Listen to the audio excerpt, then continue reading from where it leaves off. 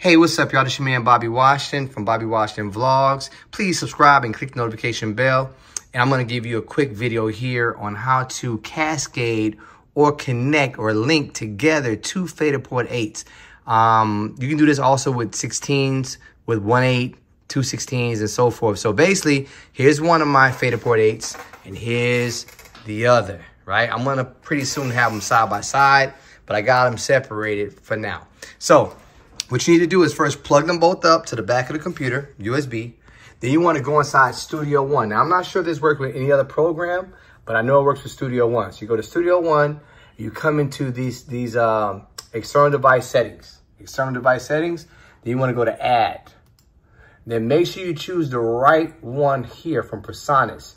You got different selections. You got uh, Faderport 2018, the regular Faderport.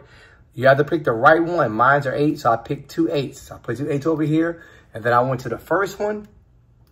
I'm sorry, I went to the second one first. I went to the second one first, and I selected, I press edit, and then I press here, Faderport, right here, one, right?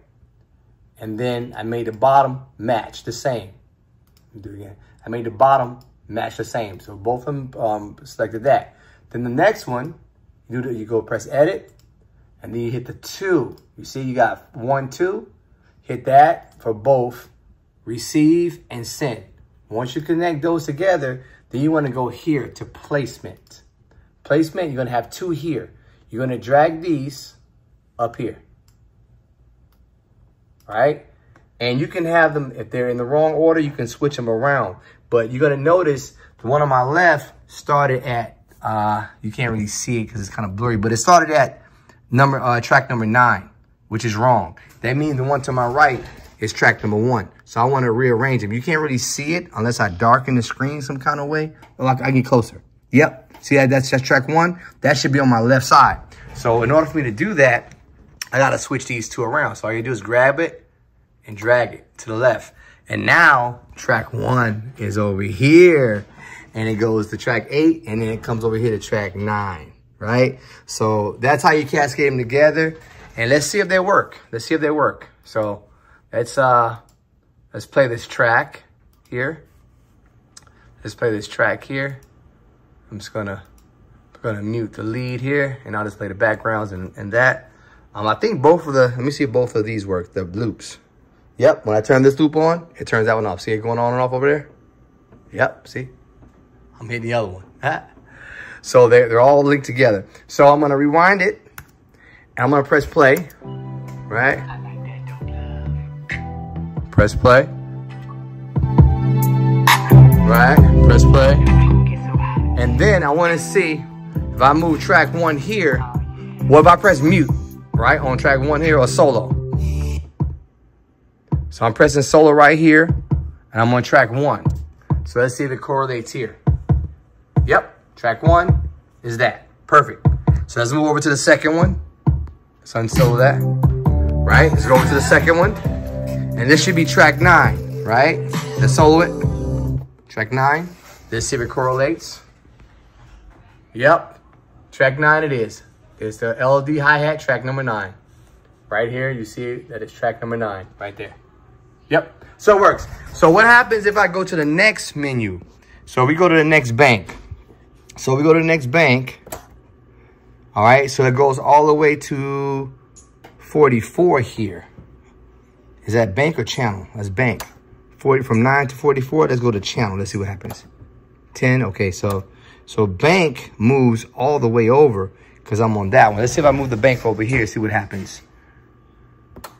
Yep, 17. So I got to move the I have to move the bank on here on the left one to go to the right next numbers. So the last number over there was 16. When I press the bank over here, it goes to 17. So that's right. If I press it again, that's what happens. Yep, it's in order. Yeah, it's in order.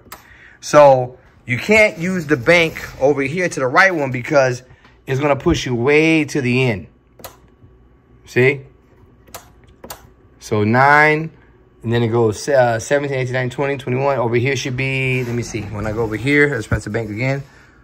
That should be 24. That should be 25. All right, that goes to 44. Ah, I know I went to 44 because my 25 I have disabled. These are my background vocals right here. I see them right here, 25. I got them disabled. If I enable them, now they'll be over here.